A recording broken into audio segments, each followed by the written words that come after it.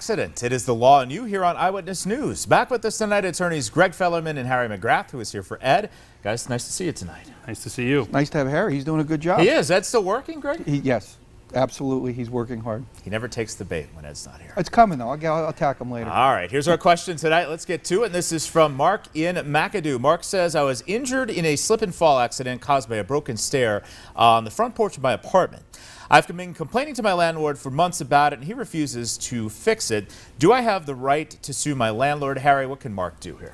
Well, Mark, thank you for the question. Believe it or not, it can be difficult in Pennsylvania to sue your landlord as a result of an accident that occurred on the property. However, based on what you've told us, you've been requesting that the landlord repair this condition for several months. If the landlord has not taken reasonable steps to repair the condition that caused your injury, then there is likely a chance that you can pursue damages against him or her.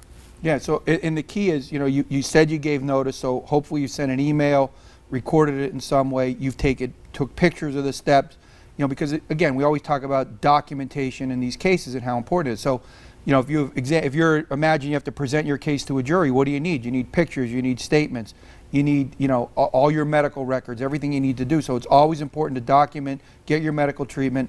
In any of these cases, obviously, you need to hire a lawyer. All right, our viewers that want to talk to you if they get into a situation like this uh, and need some direction, how can they reach you? Give us a call, 570-714-HURT. You can see us on the web at 714hurt.com. You can also find us on Twitter and Facebook. All right, attorneys Greg Fellerman and Harry McGrath. Results matter with these guys. Thanks so much. We'll see you tomorrow. Our pleasure. Thank you. Don't forget, PAHomepage.com and the Law and You hotline are always there for you.